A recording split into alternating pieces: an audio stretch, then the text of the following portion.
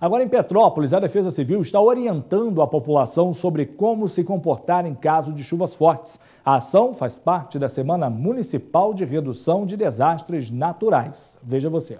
No estande montado na praça, agentes oferecem material informativo com dicas para reduzir riscos de tragédia no período das chuvas. Além disso, a população pode cadastrar o celular para receber informações sobre as condições climáticas da região. A senhora acha importante fazer esse cadastro? Mas é importante, a gente mora em beirada nessas coisas, tem que fazer sim. Está tendo vários enchentes aí em bairros, né?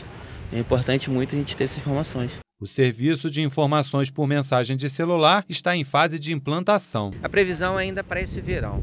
A nossa pretensão é que esse alerta chegue o mais rápido possível para a população, que ela possa ler esse alerta e principalmente acreditar no alerta. Isso é muito importante. No local também são distribuídos adesivos para fazer em casa um pluviômetro com garrafa PET para monitorar a quantidade de chuva. A população pode ainda conhecer como funciona um equipamento semiautomático com direito até a chuva artificial. Os dados dessa chuva artificial podem ser lidos por este equipamento que é um data logger. Esse equipamento ele é instalado na casa de um morador de uma comunidade onde há risco de deslizamento, onde há um alto índice de chuva. E esses dados são fundamentais para o trabalho de vocês, não é isso? Sim.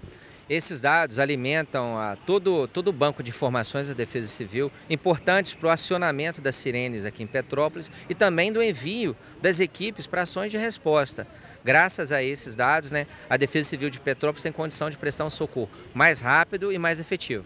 A ação da Defesa Civil na praça acontece até sábado, dia 29 de novembro, Dia Municipal de Redução de Desastres Naturais. Mais uma ação importante para a população aí da região serrana com aproximação do período de chuvas.